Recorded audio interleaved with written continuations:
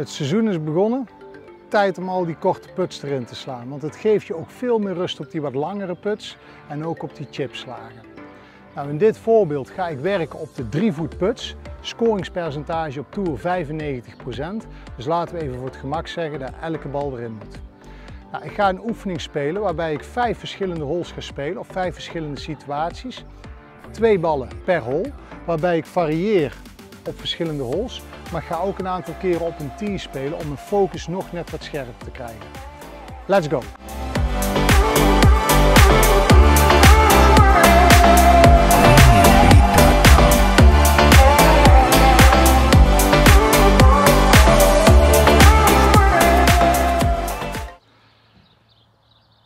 Die oefening is toch moeilijker uh, dan dat je zult denken. Uh, ik heb er vier gemist van de tien. Vier. Gelukkig stond de video in een timelapse en hebben jullie dat niet kunnen zien, maar ik ben eerlijk, ik geef het toe, vier gemist. Ik ervaar dan zelf van ja, ik zie die lijn en ik zie die bal toch wel doen wat ik gelezen heb, maar ik merk gewoon dat ik die bal niet op lijn gespeeld krijg. Dus ik begin met een oefening, ik begin met een stukje scorend vermogen en ik merk dat mijn scorend vermogen niet op orde is. En dat heeft meer te maken met de controle van het clubblad. Dus wat ik ga doen, een simpele oefening om die controle van het clubblad te creëren. Drill met het poortje die zal voor velen wel bekend zijn. Je eh, creëert met een eh, aimstick of eventueel een driver een rechte lijn. Op die lijn maak ik een verkleining, twee T's. Zorg wel dat het mooi evenredig is.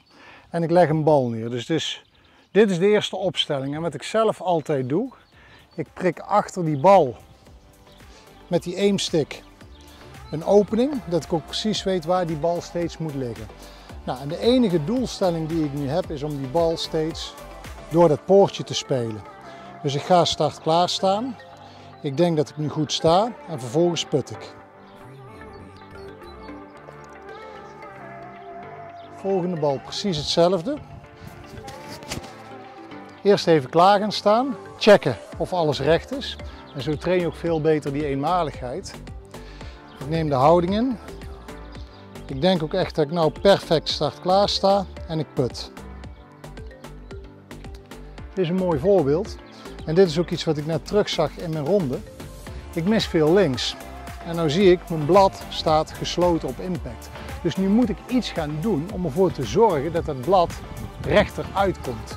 Dat kan zijn een gripaanpassing, dat kan zijn een hoofdaanpassing, dat kan zijn een balpositieaanpassing. Het kan zelfs zijn dat ik in de beweging ga denken aan mijn hand, rug, hand, palm. Onderzoek wat voor jou de oplossing is om die bal constant op lijn te spelen. En dat is dan wat je weer gaat implementeren in die drill, in die drie voet drill. En dan heb je iets, een soort spiekbriefje noem het maar, waardoor je die ballen consequenter op het doel gaat spelen.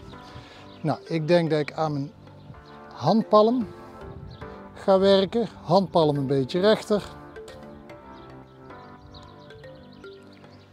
Ik moet toch verder onderzoeken.